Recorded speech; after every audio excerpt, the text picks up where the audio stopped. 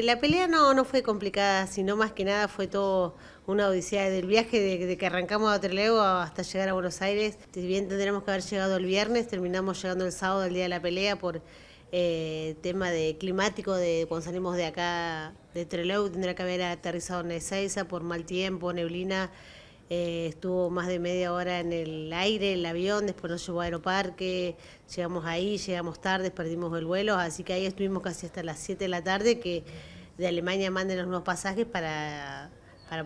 viajar y nos dijeron que al otro día recién viajábamos, así que bueno, nos tuvimos que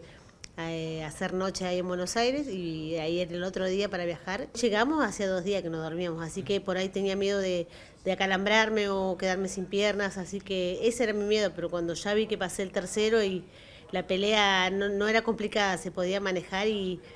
este y además la rival me respetó, este empecé a tirar a, a tirar, hacia que llegamos re bien, no sentimos el cansancio, pero eso fue gracias al, entrenamiento que veníamos haciendo desde febrero. Que pasamos, yo estoy contenta y feliz de poder, de poder haber eh, vuelto a pelear, subirme a un ring, le digo, porque el año pasado que no, lo lograba y,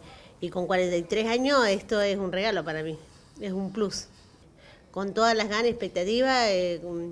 eh, yo sé que van a venir más peleas, es algo tenemos hablado, así que hay que estar entrenado y preparado. En este deporte nunca sabes cuándo te van a llamar. Este año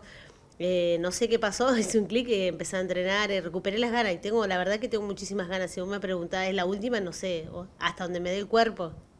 Eh, por lo menos este año yo pienso seguir boxeando, así que vamos a ver qué, qué nos depara el destino. Hay, hay posibilidades, nunca hay fecha, viste, en esto te llaman, hay que estar preparada, pero sí, sí, hay muchas posibilidades de, de volver a pelear en el exterior.